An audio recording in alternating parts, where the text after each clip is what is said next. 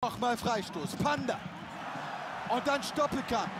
Klärungsversuch. Einfach weggedroschen. Oder ist das mehr? Ja, das ist ein Tor.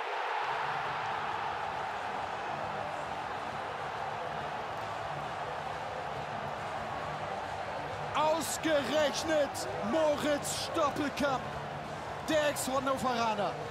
Unter der Woche war noch mit seinem Vereinskollegen aus Hannover schlau drauf essen und jetzt legt er ihnen so ein Ei ins Nest. Das ist ja unglaublich. Wir haben nachgemessen. Das ist Bundesliga-Rekord. 83 Meter.